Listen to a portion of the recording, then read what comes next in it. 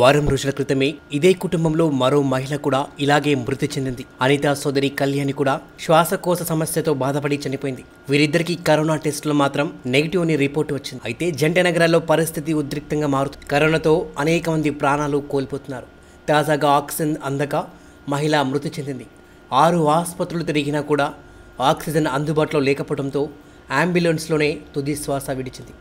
ఈ ఘటన సికింద్రాబాద్ సీతాఫల్ మండిలో జరిగింది. సీతాఫల్ మండి బ్రాహ్మణ బస్తికి చెందిన శేషాచార్యులు పుష్పవల్లి దంపతులకు ముగ్గురు కుమారులు ఐదుగురు కుమార్తెలు మూడో కుమార్తె అనిత నలభై ఎనిమిది సంవత్సరాలు. భర్త వేణుగోపాల్తో కలిసి బెంగళూరులో నివసిస్తున్నారు. అనితా కుమారి స్వల్ప అస్వస్థకు గురి కావడంతో కరోనా నిర్ధారణ పరీక్ష చేయించగా నెగిటివ్ అని వచ్చింది. ఈ నెల ఇరవై ఒకటిన కారులో బెంగళూరు నుంచి తల్లిగారింటికి వచ్చింది.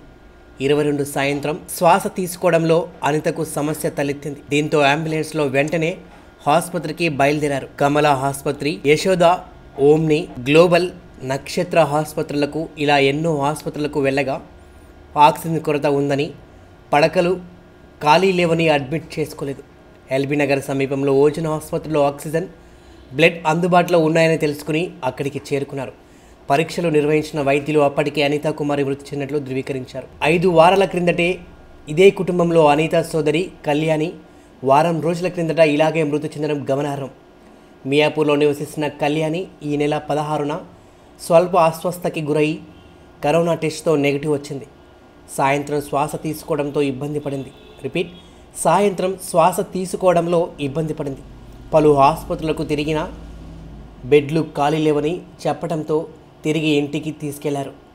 అదే రోజు రాత్రి కళ్యాణి మృతి చెందింది. వారం రోజుల వ్యవధిలో అక్కా చెల్లెలు మృతి చెందడంతో బ్రాహ్మణ బస్సులో విషాద ఛాయలు అలుముకున్నాయి. వీరిద్దరి మృతికి ప్రభుత్వం వైఫల్యాలే కారణమని మృతుల సోదరులు విజయసారథి వేణుగోపాల్ ఆరోపించారు. ఈ వీడియో కనుక మీకు నచ్చినట్లు రిపీట్ ఈ వీడియో కనుక మీకు నచ్చినట్లయితే లైక్ చేయండి షేర్ చేయండి మీ యొక్క అభిప్రాయాన్ని కామెంట్ రూపంలో తెలపండి. మరిన్ని లేటెస్ట్ అప్డేట్స్ కోసం మా ఈ ఛానల్ని సబ్స్క్రైబ్ చేసుకోండి. కింద ఉన్న బెల్ ఐకాన్ని క్లిక్ చేయండి.